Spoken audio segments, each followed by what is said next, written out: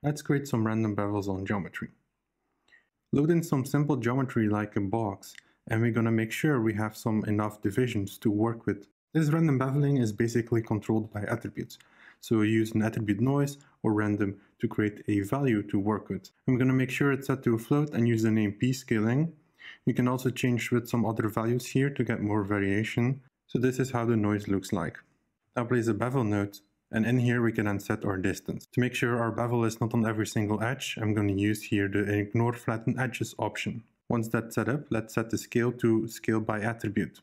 Now we can use our p-scale value to have a more controlled bevel by attributes. You can for example use this to quickly make some stylized models for a game. Hope you enjoyed this video.